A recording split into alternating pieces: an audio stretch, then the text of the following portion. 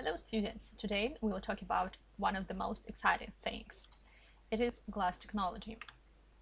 The purpose of glass synthesis is to obtain a homogeneous in physical properties and chemical composition glass-forming liquid.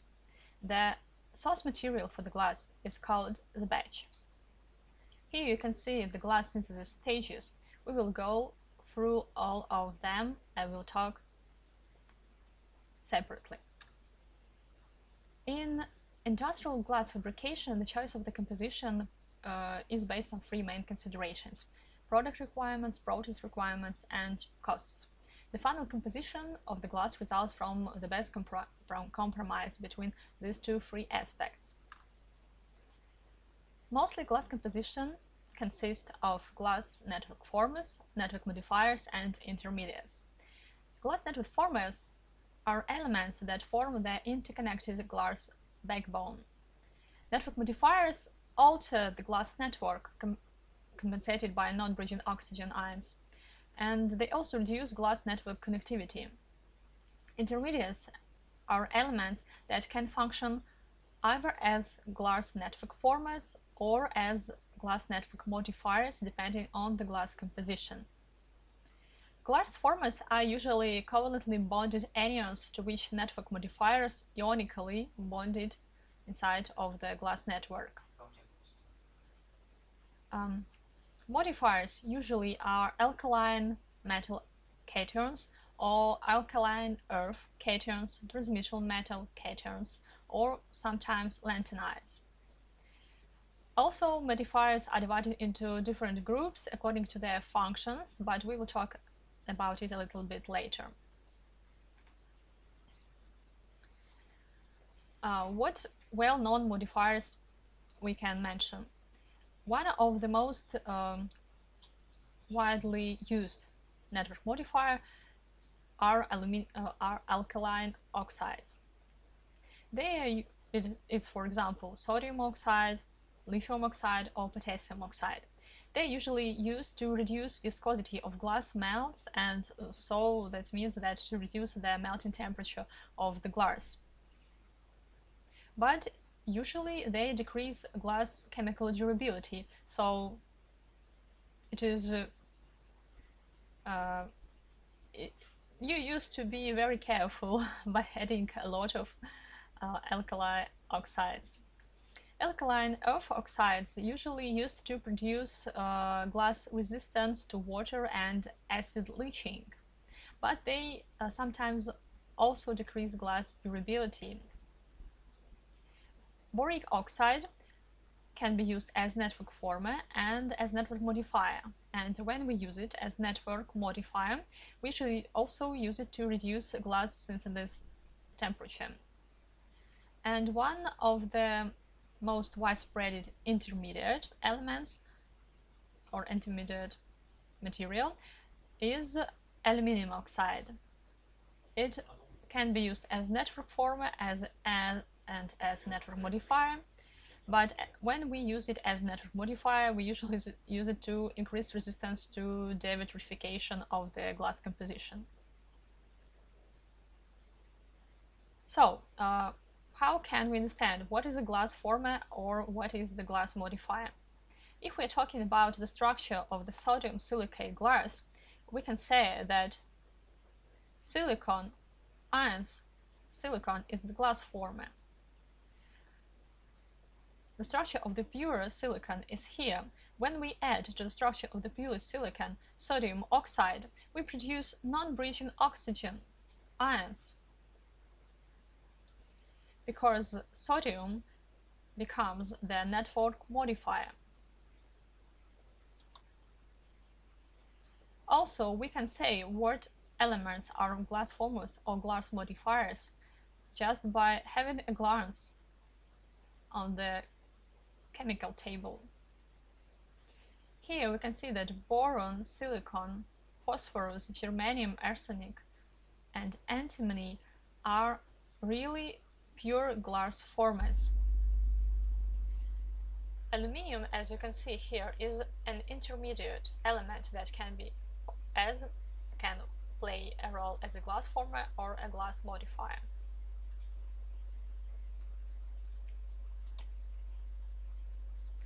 Here you can see the mostly widespread glass formers.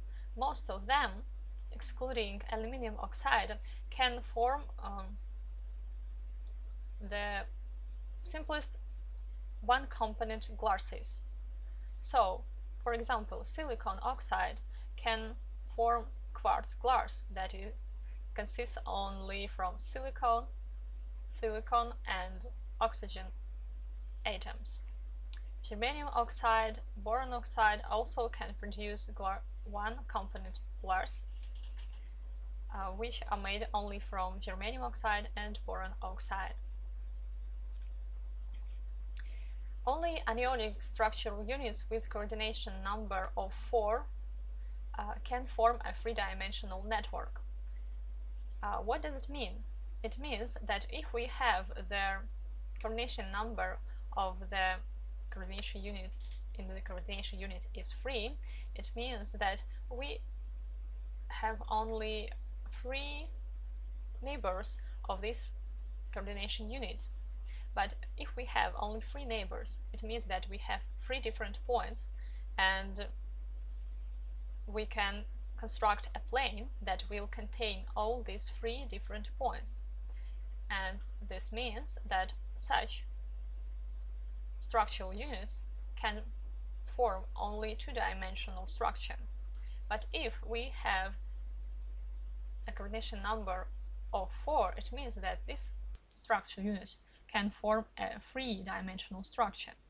But it doesn't mean that boron oxide glass is only two-dimensional. No, it means that the structure of the boron glass is not uh, looks like chains uh, which are situated at different levels.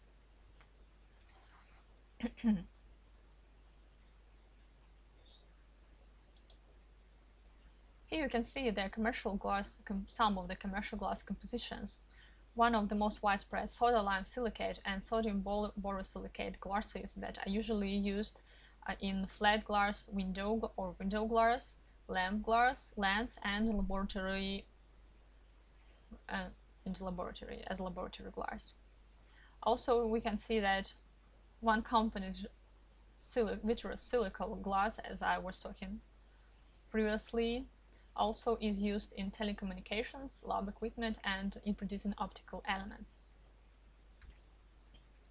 When we see the chem chemical composition of the glass, or the main constituents of the glass, we can name this glass just by looking at his composition. For example, here we can we have soda, lime, silicate glass and here we have sodium borosilicate glass.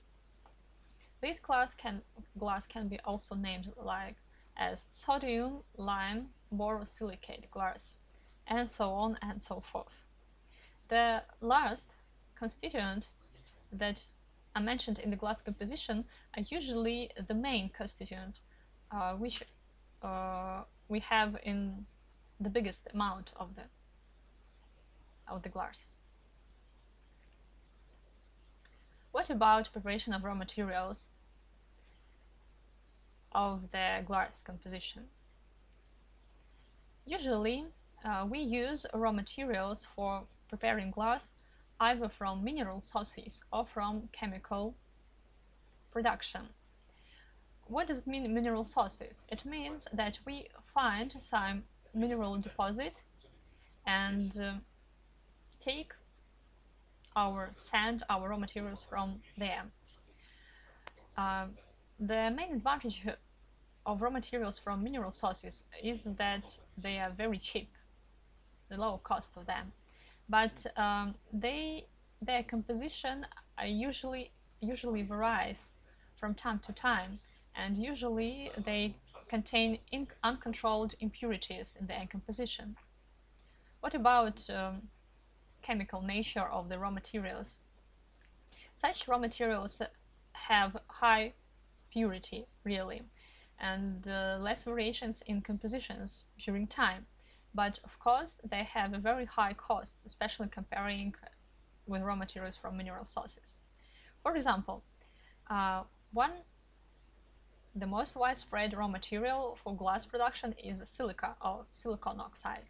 The raw materials for silica are crystalline quartz, in nature rock crystal, kaolin, nepheline, spodumena, feldspars, and quartz sand. And for example, if we look at the composition of quartz sands from different deposits, we will see that really they contain different amount of impurities and their composition varies.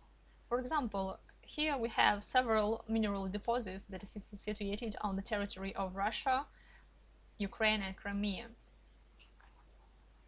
We see that the amount of silicon oxide here varies uh, for more than 1%. It means that it uh, will vary from time to time. We also ha here have the titanium oxide and the iron oxide. And it really it can be in a really big amount here.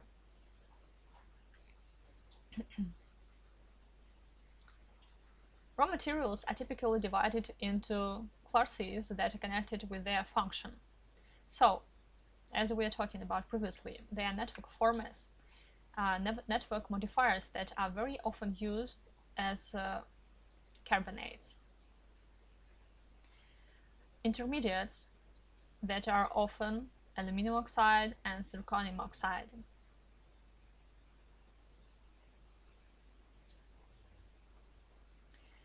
The tricky thing about aluminum oxide is that it is also used as a refractive as a refractory material for furnaces production, tanks production, and pots production. That's why um, the main thing during glass melting is uh, to be sure that all aluminum oxide is also melted inside of the glass melt. Talking about carbonates uh, for network modifiers raw materials, they can be, for example, sodium carbonate that usually takes as soda ash, potash, potassium carbonate, limestone that is calcium mm, carbonate or dolomite that contains several carbonates in its composition. Uh, agents are elements that are used for removal of bubble of bubbles from the melt. They are used for to enhance the removal of dissolved gases and gas bu bubbles that are trapped inside of the mount. And they are usually added in really small amounts, really small quantities in the glass batch. Redox active species are used to control uh, the oxidizing and reducing conditions inside of the glass melt. Really, uh, redox, that is mean oxidize or reduce, um, is very uh, potential is very important to control because you know we have uh, chemical elements that uh, can have different valencies and uh, at different types of valencies they can produce even different colors or be colorless so for example if we uh, produce colorless glass we really don't want uh, to have iron iron in the valency of 3 plus there. Usually oxidizing agents are nitrates and sulfates and reducing agents are include carbon or cokes and blast furnace, furnace slags. Coloring elements. So that elements that provide us color uh, as for example iron oxide which is one of the most widespread color coloring element. You see that even um, mineral deposits of uh, glass of quartz sand, all of them contain iron oxide in the composition.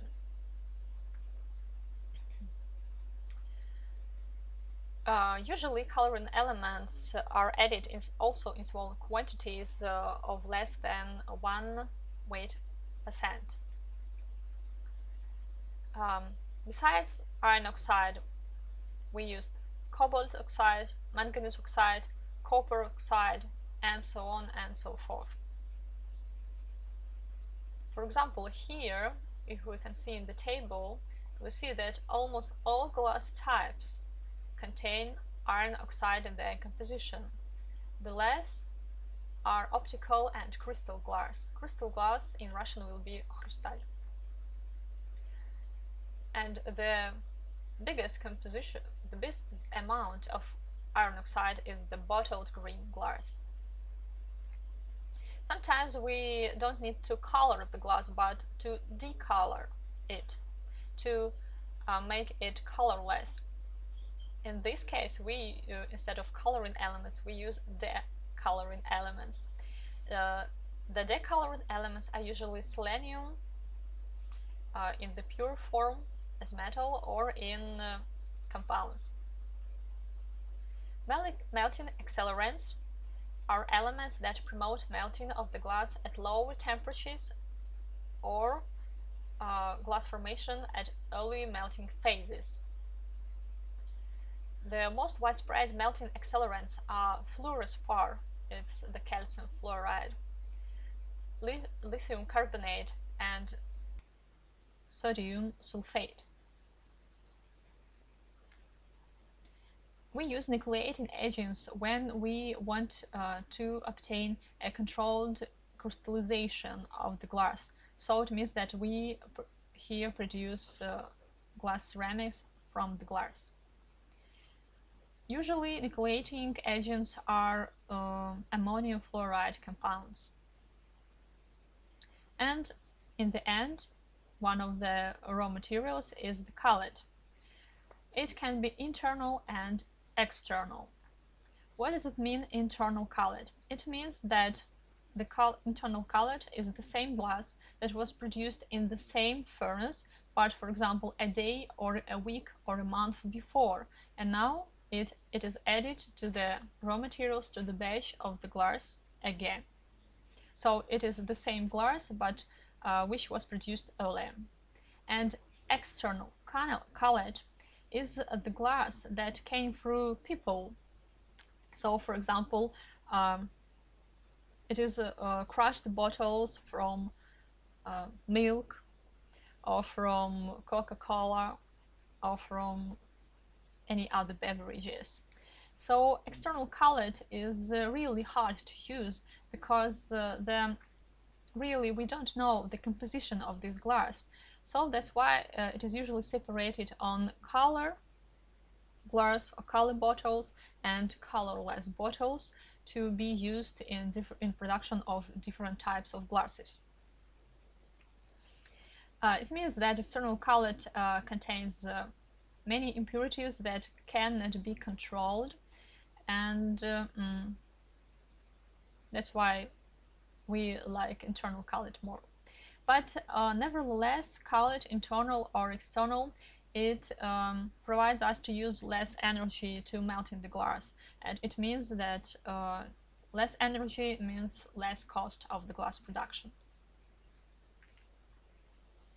So here you can see the transmission spectrum for cullet contained glasses. Here you can see the wine bottle uh, which is colored uh, by the amber chromophore. It's the um, the, fer the iron ions uh, with the valence 3 plus and the sulfur ions with valence 2 minus that they produce uh, they're called amber chromophore and they produce this color deep green so um, this bottle uh, was produced from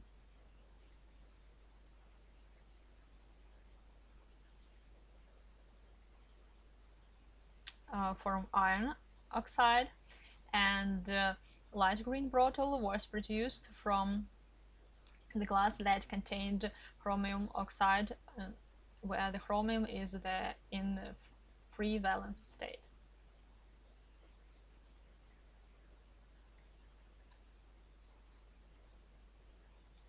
So here you can see again that uh, iron oxide is almost in every glass type. What is the main requirements for the raw materials? First, of course, is the grain composition. The grain size for the raw materials should be no more than uh, 0.70 millimeters. Also, the main parameter is, is humidity. If we are dealing with the soda beige, uh, the humidity should be no more than 3-5% and sulfate beige uh, no more than 7%. Also, gas content uh, it's not uh, the gas means like uh, argon or something like that or oxygen. It's um, the dissolved gases. So for example water vapor or so on and so forth uh, for sodium lime glass the gas content should be no more than 20% and the batch should be uniform it means that we should mix it and uh, we should talk about it a little bit later. What about grain composition? How to control it? Um, on the factory during production we use a system of sieves with uh, different diameters of the holes and that's why uh, we that, that's how we can control the grain size of so small diameter. If we look um, in, at the table, we can see the different gas content of different batches. We can see that gas content should be no more than 20% for the soda lime glass, but here you see the gas content 23, so this kind of the batch can't be used for glass production. Uh, first, it should be prepared. But how we prepare the batch? First thing that we should do with the batch is to dry it. As you can see, we can have a lot of gases inside of the batch and one of them is a water vapor. And while drying the batch, we uh, make its uh, amount less. Mostly often we dry sands and calcareous materials uh, that calcareous materials is materials um, based on carbonates. Usually, um, drying is occurred at, at high temperatures, from 400 to 800 degrees. The second stage is the grinding. Uh, if we use um, mineral or natural resources, mineral source, uh, mineral deposits to obtain our batch, it means that sometimes we get our raw materials in the form of the big stones.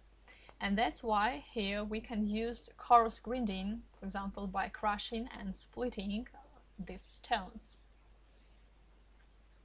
so coarse grinding is for big stones and then after coarse grinding we use fine grinding uh, to obtain powder with a little grain size that um, is no more than one um, millimeter one millimeter. Uh, the method of grinding it depends on the material's hardness, uh, required firmness of the uh, batch, and uh, the size of the initial pieces that we have in the beginning. So if we are dealing with the big stones, we use crushers, and when we are dealing with the small stones or powder, uh, we use very often mills. One uh, of the most wi widespread mill, which is called ball mill, is is used uh, in uh, fine grinding. So sifting, again, after grinding, sifting uh, is the method of using sieves. Uh, mixing, wetting and mixing, I think that wetting is obvious. Mixing uh, is very important, even the mixing of the batch, because the uh, homogeneity of the glass and homogeneity of the glass melt is strongly depends on the homogeneity of the batch. So if we want to obtain homogeneous glass, we should have homogeneous batch. Batch briquetting is used um, at factories with big amounts of production. Uh, batch briquetting is usually used for maintaining the homogeneity of the batch. So uh, when we produce the batch and have to store it for some time, we we're making batch briquetting. So uh, if we obtain homogen homogeneous batch and we want to store it for some time and we want to have it still homogeneous, we use batch briquetting. Also, batch briquetting helps to eliminate dusting of the batch. So, batch is powder, chemical powder that uh, is sometimes hazardous for um, people that are working at that factory and also for um, instruments and for the furnaces and so on and so forth because batch is really chemically active powder. So uh, briquetting provide, uh, eliminates dusting of the batch and also uh, it uh, eliminates organic impurities penetration inside of the batch. So we produced our batch and briquette it, for example, to sew for some time. What happens next? Next, we should melt it. But during melting of the batch, we have uh, a lot of physical and chemical changes and processes that happened during this melting. Physical changes are the evaporation of the moisture hitting the batch, melting of its individual components, the solution of substances in a solid liquid state, crystal structure changes, for example, changes from one crystal modification to another, volatilization of some constituent parts. Uh, chemical reactions are very widespread, so it is this the dissolution of the hydrates, removal of chemically bound water, decomposition of carbonate, sulfates, nitrites, and peroxides, interaction of various components to, uh, and formation of silicates, rays, germanates, and so on and so forth. Water is the mm, glass network former, so that will form. And physical-chemical processes include interaction between glass melt and gaseous compounds uh, components of the furnace atmosphere, interaction between melt and gases included in it, interaction between the gas phase of the melt and the gas phase of the bubbles inside of the melt, interaction between the furnace gases that are used for heating and gases including the melt and bubbles inside it and interaction between the glass melt and the refractory materials of the furnace, of the pot, or of the tank. So there are several types of uh, furnaces for uh, glass production. One uh, nowadays, one of the most widespread is so-called day tank glass furnace. Uh, why it is called day tank? Mm, day tanks are developed from traditional pot furnaces for small capacities um, more uh, less than 10 tons per day. Um, it is refilled with batch, batch daily. Uh, the melting is going at night and uh, glass goes into production the next day. That's why it's called day tanks. So day tanks are usually um, used for colored glass, crystal glass, and soft special glasses. So, for example, if we, we um, uh, have to produce many kinds of glasses, we usually should have several day tank glass furnaces. what happens in the day tank glass furnace? A vessel made of silicate materials that is called pot or crucible uh, is fired at uh, these temperatures, fired at, at these temperatures, is placed in the glass furnace heated to these temperatures. And after it, only after it, its temperature is raised to the synthesis temperature. Because uh, we need the preheating of this pot um, to provide a compaction of its materials and an increase uh, of its increase in its resistance to the influence of the batch and glass melt. Because glass melt and batch are chemically active, they are chemically aggressive. That's why we preheat the pot to uh, make it more stable, more resistant to these chemically active materials. To protect the bottom of the pot from being corroded by the batch, uh, the glass cullet is first poured on its bottom, uh, then the batch is loaded alternately with the cullet. So if we are talking about laboratory pot furnaces that are for only small volume glass production, Uh, the batch is gradually filled in portions into the crucible in two or ten steps. After uh, the batch is heated, hygroscopic and chemically bound water evaporates from it.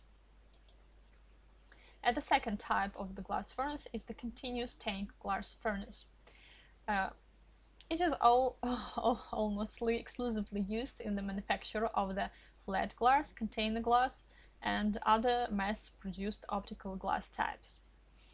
It is it has very big sizes, no less than uh, 10 40 meters long, and uh, the, its output lies between 100 to 400 tons per day, and it requires continuous feeding of the batch here and continuous processing of the melt here. So it's non-stopping process that occurs uh, at day and at night. How does uh, the batch melt in the continuous tank glass furnace? Firstly, we have the batch of the room temperature. When we melt the batch and uh, at the temperature of 1200 degrees, its weight becomes really very small. If we compare this and this weight, we see that there's the difference of uh, 200 kilograms. Uh, this happens because batch loses weight because of the gases that goes out of it during chemical reactions. So here uh, we have 200 kilograms of gases. When we heat the batch uh, of the melt, the glass melt, up to 104, 1400 and 1500 degrees Celsius uh, to obtain grain grade solution and to make fining, uh, which we talk after this stage. So during gla glass, during batch melting, the formation of uh, glass network occurs. If we are talking about silicate glass, we are, then we are talking about formation of silicates. If we have borate glass or phosphate glass, we talk about uh, we talk about chemical reactions with the formation of silicates, borates, and phosphates. Here we have thermal decomposition of the components, um, the melting of the silicates, the dissolving silicates in one another. Uh, this stage usually completes at these temperatures and uh, in the end at 1200 deg degrees Celsius we obtain an opaque melt with a large amount of gases and uh, batch particles inside of it. The main chemical reactions that uh, are going through the batch melting is uh, the reactions uh, of um, changing modifications of some materials. For example, if we are talking about silicon, it uh, goes through eight different modifications during melting. Here we see uh, that at the beginning we have alpha quartz, when it goes to beta quartz, which goes to beta tridymite, which goes to cristobalite, and after that it melts to silica and fused silica. Soda uh, dissolutes into sodium oxide and carbon dioxide that flies away and that's why the batch loses weight. Mostly uh, because of the carbon dioxide boric acid we use to uh, have uh, boron oxide. It uh, dissolutes into boron oxide and water and it starts to lose water um, from 200 degrees up to 900 degrees. So sodium sulfate goes through rhombic to monoclinic modification and at this temperature it dissolutes. Barium carbonate also provide us carbon dioxide and barium oxide. And sodium nitrate at 350 degrees centigrade provides us a lot of oxygen, nitrogen and uh, sodium oxide.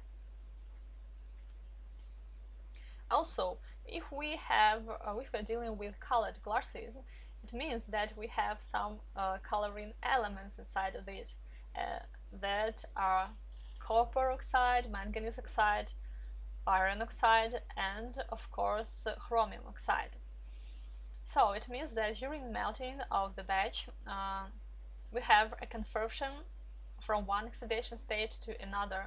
For example, here we see the chemical reaction of the manganese, of copper, and of iron oxide. They can also form new chemical compounds in solid solution and they also participate in silicate formation reactions. Uh, these um, reactions uh, that uh, involve um, coloring agents are one of the most important because, uh, for example, if we are dealing with the divalent copper, divalent copper provides a light blue or even sometimes green color of the glass. But if we have such impurity inside of the glass batch, uh, we should heat it a little bit carefully because the monovalent copper in this oxide does not provide any color. So, for example, if we start melting our batch and when uh, we see that uh, it starts to have light blue color, then we should increase a temperature a little more or just uh, we should store at melting temperature for a little bit longer duration to just to be sure that all copper oxida um, reduces to the monovalent state. Uh, the same thing happens with the manganese oxide here and with iron oxide. If we're talking about uh, nucleating agents or opacifiers that are usually called because they, they are making opaque glass, they're usually fluoride compounds, uh, phosphate salts, and sometimes tin oxide. It also they are also going through several chemical reactions of dissolution of decomposition that you can see here.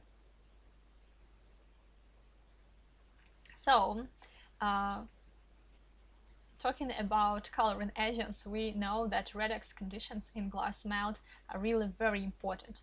But if we have several elements of variable valencies that can be uh, that are simultaneously presented in the glass, uh, which one will be oxidized first? So, if we're talking about silicate glass, the sequence will be as follows. First oxidizes iron, then antimony, and so on and so forth, and only the last will be the chromium.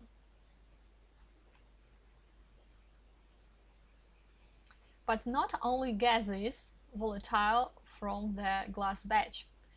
Uh, the useful compounds such as boron oxide and so on, arsenic oxide, also are very volatile. The most volatile are boric acid and salts, lead oxide, arsenic compounds, antimony oxide, selenium, and simple halides have the highest volatility. And even the volatility depends on the um, mineral that we use as a raw material. For example, if we look uh, at sodium oxide from soda and so from sodium sulfate, we can see that from soda, sodium carbonate, the volatility is two times less than from sodium sulfate here. And if we use fluorspar or calcium fluoride, it has almost 50% volatility from its initial composition which is very high. And also we should uh, bear it in mind while calculating the batch composition. Okay, so uh, we have the melt. What should we do next with it? Uh, on the previous slide, you you, you, we all saw that uh, the next stage of the glass synthesis is fining. Fining, or primary fining, is the process of the removing bubbles from the melt. It is combined with the final stage of the silicate formation and usually runs at the temperatures up to 1500 degrees Celsius. uh, here, uh, removal of gases that are contained in the melt in the form of bubbles from which a large one rises to the surface of the melt uh, and small bubbles just dissolving it. Usually the rises of the big bubbles and the dissolution of the small bubbles are separated into fining process and refining process. And as a result of the fining, the melt becomes transparent but remains chemically inhomogeneous. In Russian language, fining process is called осветление. So why um, the melt becomes more lightening or more fining uh, without bubbles. If you imagine boiling water, you uh, in your kettle, for example, if you are uh, looking inside of the boiling kettle, you will uh, don't see its bottom because really when the water is boiling, it's not transparent. But when we remove all the bubbles, the water again becomes transparent. Transparent. Here is the same process, so the melt with a lot of bubbles is not transparent, but when we remove the bubbles, it becomes transparent, but remains chemically homogeneous. That's why in Russian this process is called осветление. What is the mechanism of the fining? Uh, I remind you that here we have visible bubbles inside the melt and invisible gases inside uh, that are dissolved in the glass melt.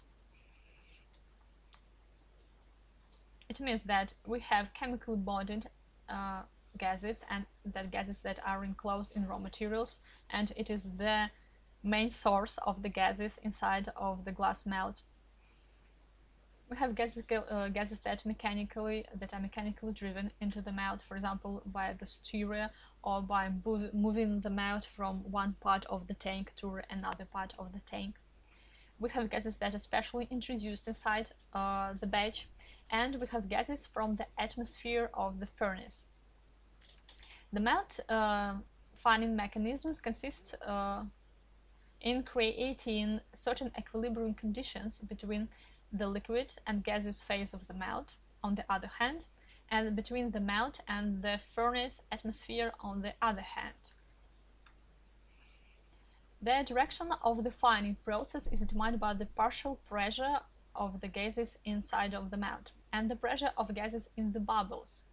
Namely, to remove the evolved gas from the melt, it is necessary uh, to have the partial pressure of the corresponding gases to be lower than the furnace atmosphere and that's uh, only in this case they will go out of the melt.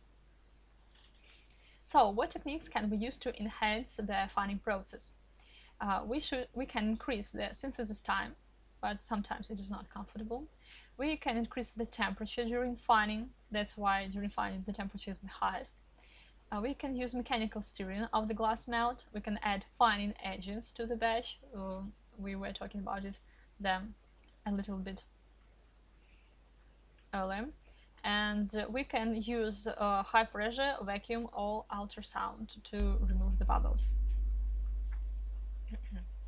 what gases are contained in the molten glass? Mostly it's oxygen and carbon dioxide. Also it is sulfur dioxide, or water vapor and nitrogen. How do fining agents work? They either increase the average bubble size, for example for water vapor, and they are also the source of the gases by themselves. That these gases pass from the mouth into the bubbles. Uh, the bubbles are growing, they're increasing in the size, and uh, when they are increasing in the size, it is easier for them to go out of the mouth. Here we use nitrates, sulfates and ammonium salts for this.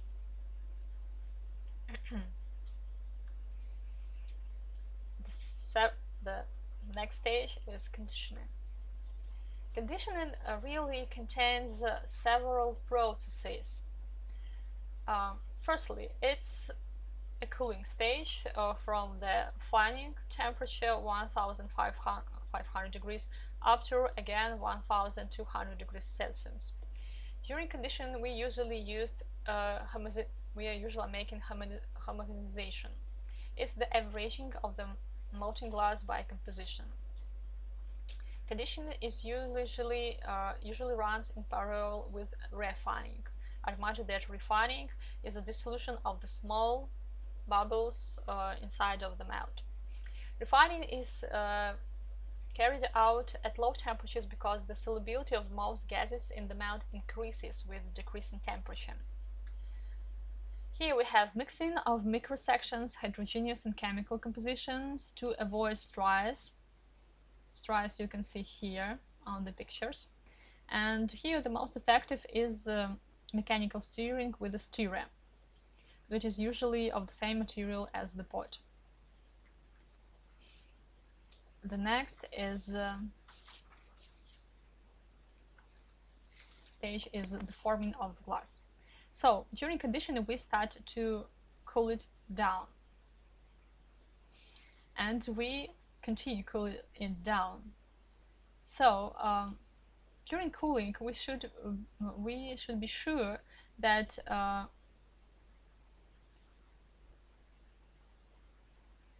that we are making continuous slow decrease in temperature uh, so that uh, without changing the composition and the pressure of the glass medium of the gas medium near the melt. The first method of cooling is cooling the glass in the same pot or crucible in which it was melted. Uh, so, this method is usually uh, used when we are synthesizing glass and in the dating glass furnace or pot, pot furnace. Uh, the second method of cooling uh, is uh, then when we are cooling glass after forming. This is usually used in the continuous tank glass furnaces. So uh, we have several methods of glass forming. The drawing, blowing, pressing, centrifuging, rolling, and the last method is casting. For example, uh, here we have several operations of pressing the glass and then blowing it to obtain a vessel. So drawing is one of the most widespread because it is used for flat glass, tube glass and fiber fiberglass and LCD glass. Um, the last thing is glass casting is uh, mm, namely it, it is not the mm, the type of the glass forming just casting. Uh, what means glass casting? It means that the glass mass is cast into a round or square or rectangular shape with an area of uh, 2 to 4 square meters, with the thickness of the glass block is approximately no more than 30 centimeters, or uh, we or we can cast glass on the table or rolling uh, roll it into the sheet and hold it uh, on the table for several minutes.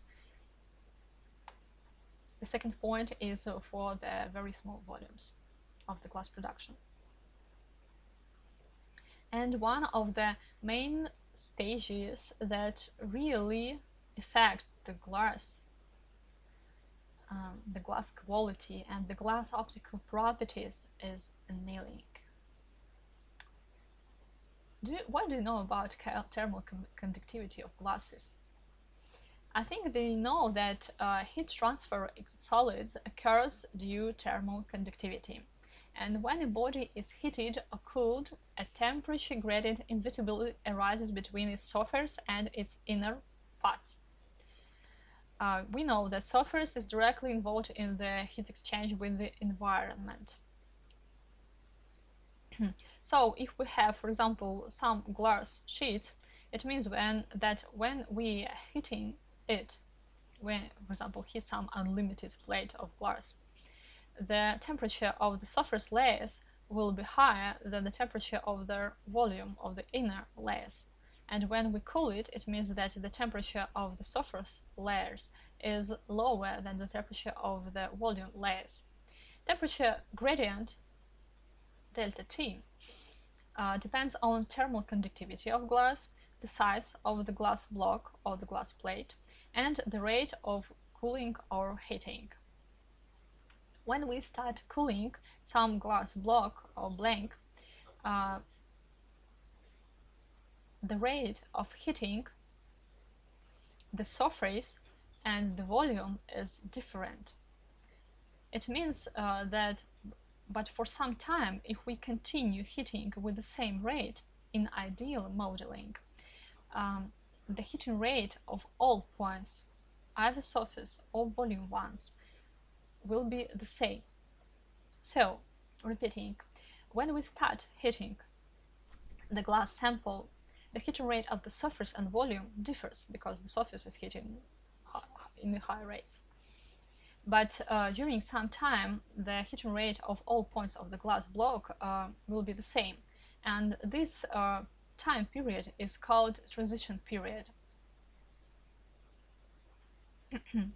and uh, the time when all points of the all layer all layers of the glass block are heating at the same rate is called regular regime. Here, if we look at the equation, we see that we have plus and minus. Plus is going for heating and minus is for cooling. so, while we heat or cool some body, uh, the formation of internal stresses occur. Temperature gradient um, causes uneven expansion and contraction of outer and inner glass layers. And because of this expansion and contraction, elastic deformations of tension and compression occurs.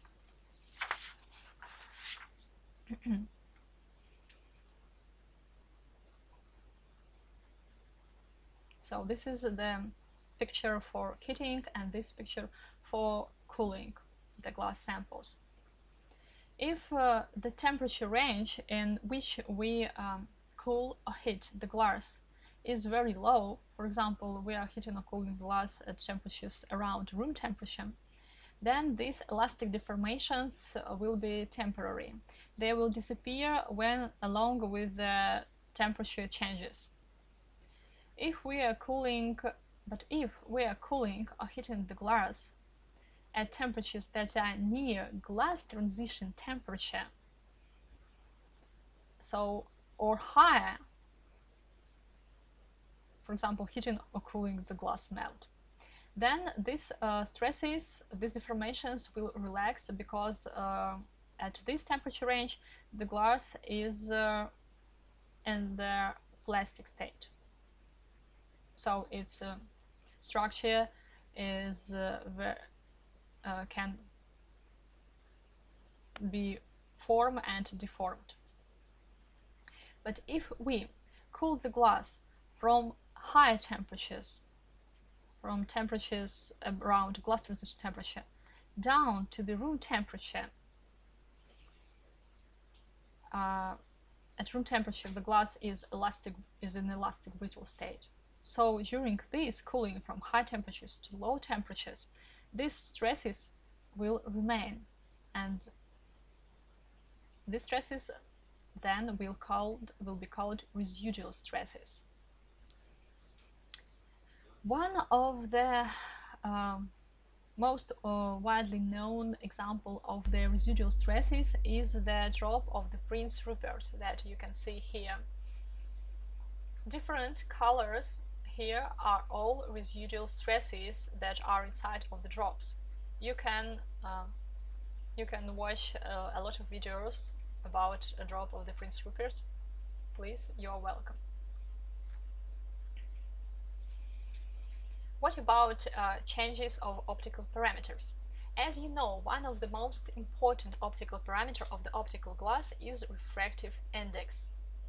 and uh, it is it it usually changes with the temperature too.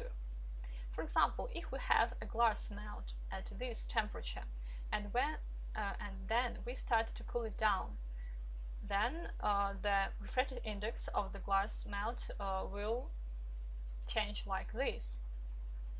When we reach this temperature, which is called the upper limit of the critical region. Then things starts to go differently. What is a critical region?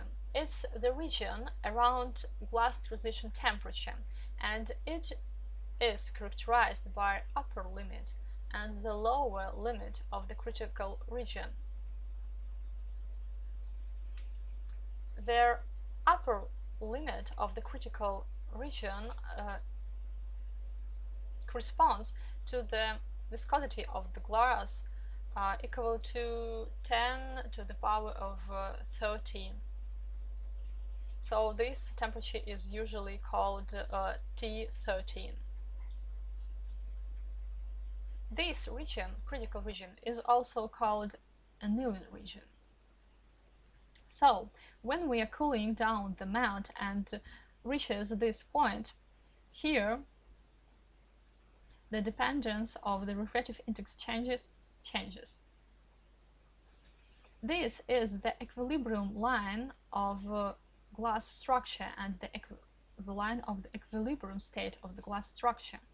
And when we cool the glass melt very slowly, very, very slowly, it means that at every te temporal point, at every temperature, the glass structure has enough time to go from the metastable state to the equilibrium state. And is, this is the equilibrium line, the equilibrium curve of the glass properties and so does the refractive index. And uh, when we this line reaches the lower limit of the critical region, then refractive index stops changes and it goes down while we cool the glass to the room temperature. But if we cool them out not so slow but a little bit faster, then the refractive index will go here from uh, along the equilibrium state because at high temperatures the glass structure will have enough time and enough energy to uh, go to the equilibrium state. But while cooling it down, at some point it will stop uh, to have, it will not, here it will not have enough time to go to the equilibrium state and uh, the refractive index changes stop here and we will obtain the refractive index N1.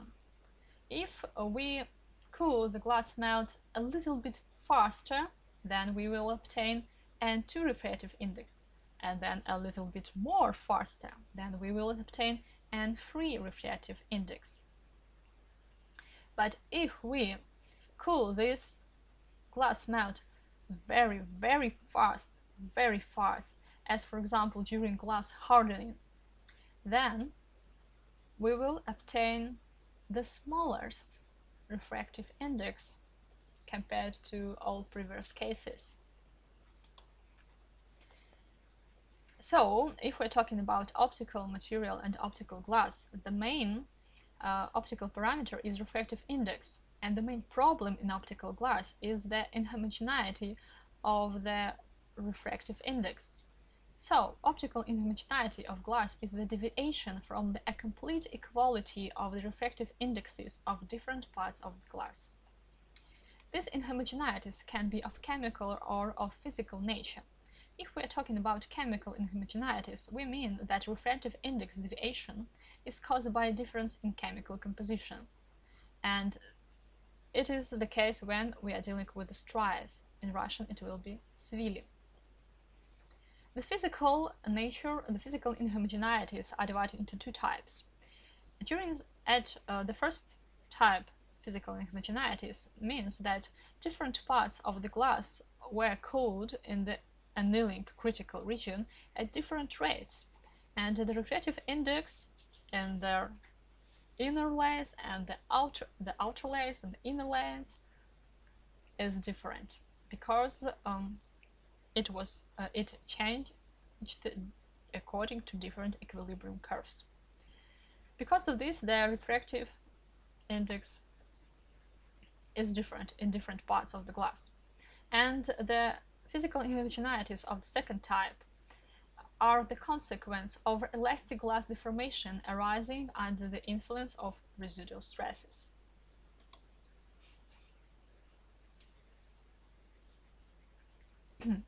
so, what is the annealing point? What temperature should be used during annealing? Uh, the, the tendency of the refractive index to the equilibrium value and stress relaxation can occur at any temperature from the critical region. Theoretically, any, at any temperature, glass, glass can be reduced to a state without inhomogeneities, and it means that there is no clearly defined annealing point. We can use several temperatures indeed. But usually, usually, the annealing point is the temperature at which uh, we define it, the annealing point, as the temperature at which about 95% of the strength in the glass is relaxed within 2 or 10 minutes. Annealing point corresponds to the glass viscosity equal to 10 to the power 13 poise. Uh, why don't we use a higher temperature than the annealing point? Why should we wait uh, 2 or 10 minutes to, uh, for stresses to relax? Because uh, at higher temperatures the relaxation of the stresses will happen instantly and it is not good for the uh, glass quality um, in the end. But under industrial conditions, when we're dealing with a lot of types of glasses, the practical annealing temperature is not equal to the annealing point.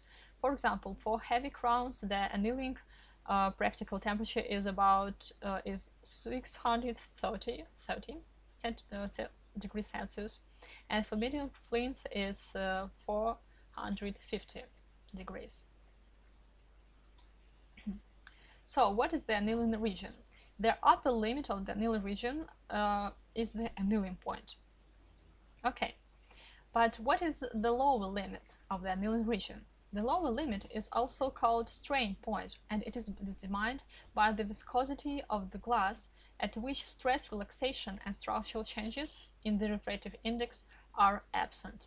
The lower limit depends on the glass composition so it's different for different it is different for different glasses also the difference of the temperatures of the upper and the lower limit is about 150 degrees. And during this 150 degrees we have changed viscosity by 5.5 orders of magnitude. So if we have uh, this graphic of the logarithmic of viscosity and adverse temperature, here the upper limit of the annealing region and the lower limit of the annealing region, uh, we see that it is the line. Uh, but it is theoretically the line that can be that uh, that is connected with this equation that can be uh, connected with this equation. And theoretically, the change in the viscosity at this temperature gradient is uh, 4.5 orders of magnitude. But experimentally, it was obtained that uh, at low temperatures, it is not the line. That's why we have uh, the change of viscosity of 5.5 uh, orders of magnitude. So if we look about uh, entire viscosity range, we can see that the lowest viscosity is uh, during melting of the glass batch and during fining, namely. Then we have uh, working point here, softening point here, and annealing point here starts uh, at this viscosity. We have a transition range which is called uh, which is the part of the critical or annealing range. And at room temperature, glass has a um, viscosity of 10 uh, in the power of 20 poise. so, what glass annealing stages do we have? First stage is glass heating. Uh, namely, we can obtain uh, glass annealing uh, right after uh, the glass synthesis. So, uh, in this case, we uh, don't need the glass heating again. But if we have the glass at room temperature already, then we need to heat it again to the annealing point. Uh, second stage is the relaxation zone. Here uh, it's like holding at annealing point or annealing temperature. Then we have critical cooling zone, which is very responsible, and non-critical cooling to room temperature here. And we have different types of annealing. They are linear, inertial, and accelerated annealing. Uh, when we are going through the first stage of the annealing, it means that we are hitting the glass blanks. Uh, the main purpose for this um, stage is to hit the glass blanks with the fastest possible speed or that is allowed by the furnace, but not so high uh, for cracking these glass blanks. The average heating rate for small, medium and large blanks you can see here and they all depends they all depends on the size of the glass blank. Uh, but on practice we usually hit uh, very large blanks uh, to up to this rate large blanks up to this and all other blanks uh, we hit up to 120 degrees centigrade per hour.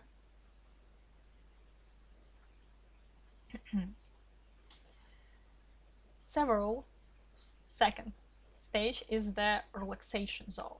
It means that we're holding the glass blank at uh, one temperature during some time. This task, uh, the task of this stage is to bring the entire glass mass to a homogeneous equilibrium state and release from all residual stresses. Usually the temperature of relaxation zone corresponds to the viscosity of glass equal to this one.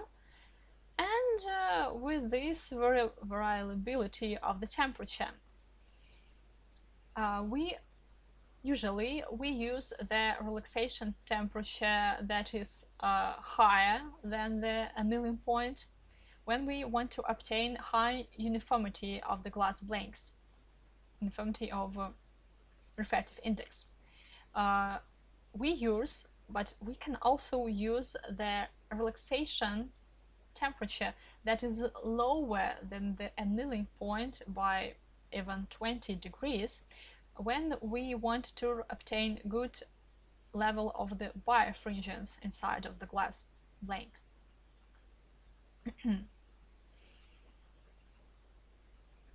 the duration of the relaxation zone um, is uh, strongly connected with the temperature. For example, if we look at this table, we can see that stress relaxation at uh, stress relaxations during uh, two minutes are held in at very high temperatures. But when we decrease the temperature, the time of the stress relaxation increases strongly. So that's why we can um, produce relaxation zone either at 600 degrees for borosilicate crown and also at 500 degrees, but for different time. Uh, what about deviation from the equilibrium refractive index? Uh, when we have uh, some kind of the crown, and uh, we use holding temperatures, different holding temperatures. The deviation from the equilibrium refractive index before annealing is this one, but after annealing at different time and temperature is this one. So you can see that deviation becomes became smaller. This means that glass blank became more uniform.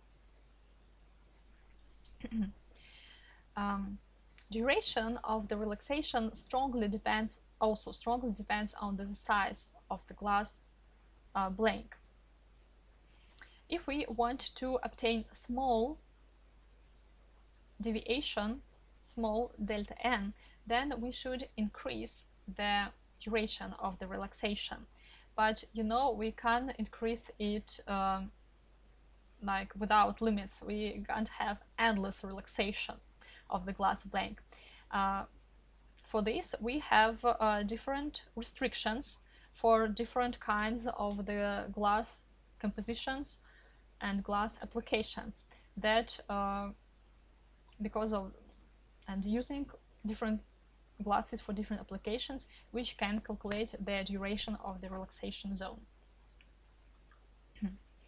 Critical uh, zone cooling uh, is uh, one of the is the most responsible stage of the annealing.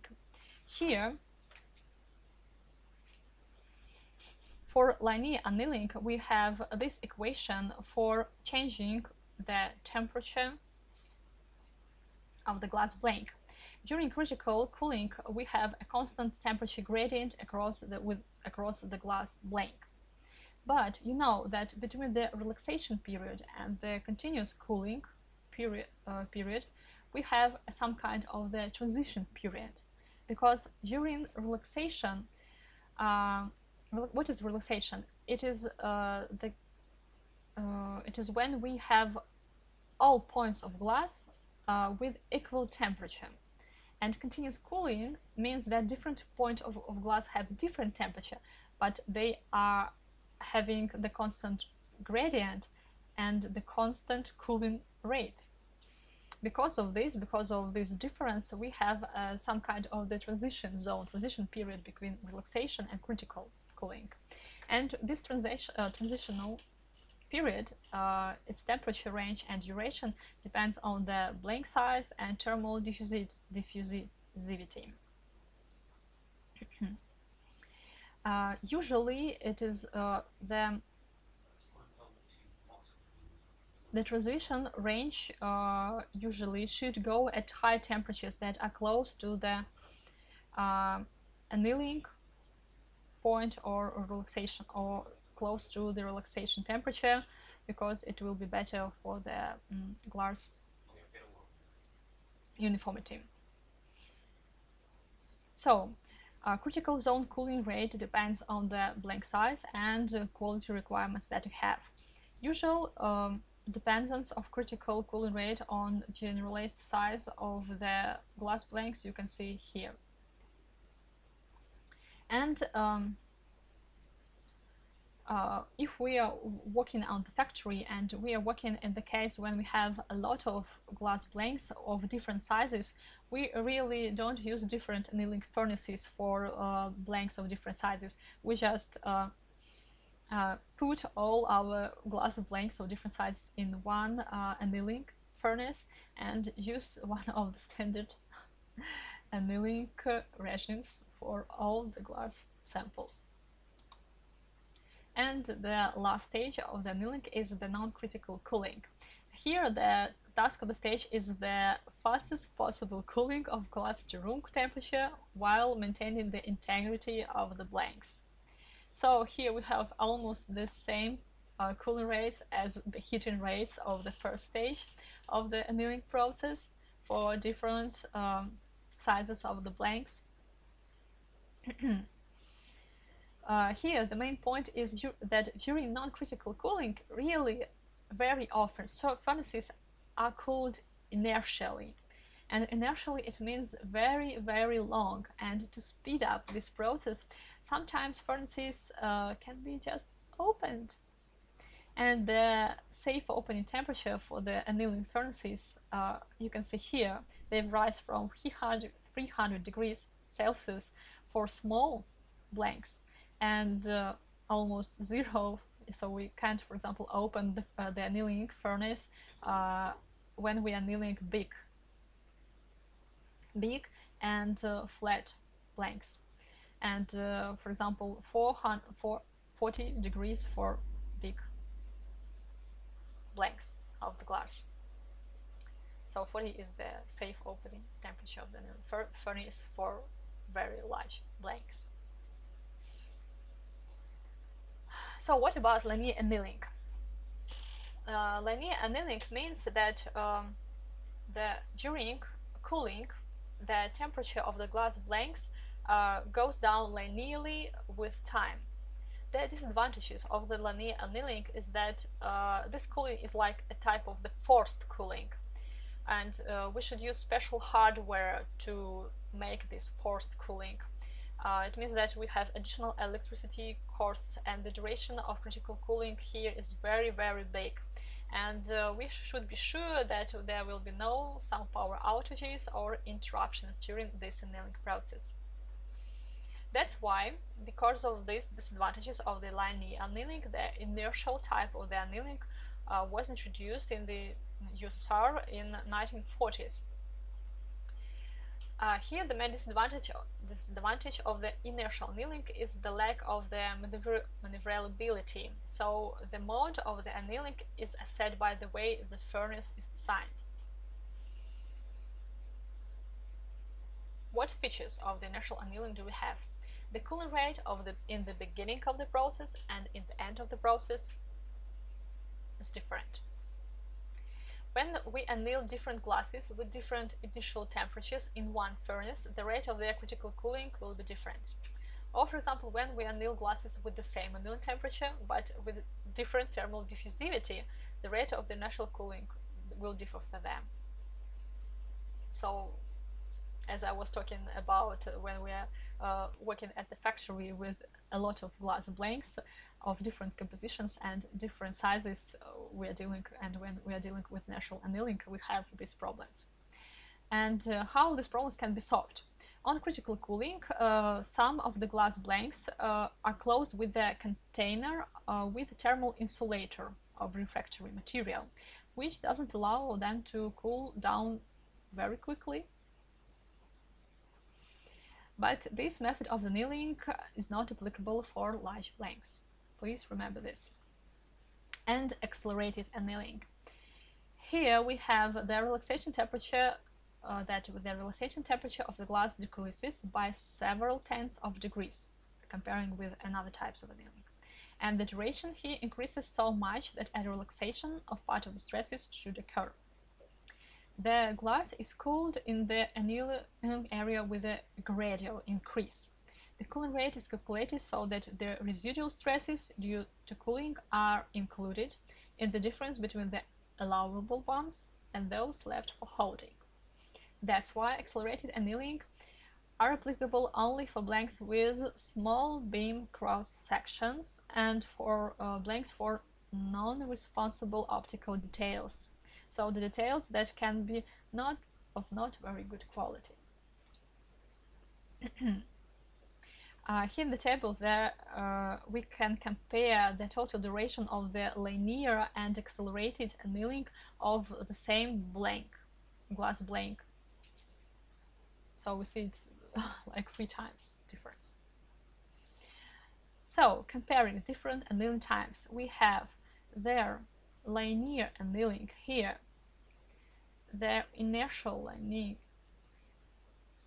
here, and their accelerated annealing here. All these types are applicable but for different glass blanks and for different glass applications. Thank you for your attention and goodbye.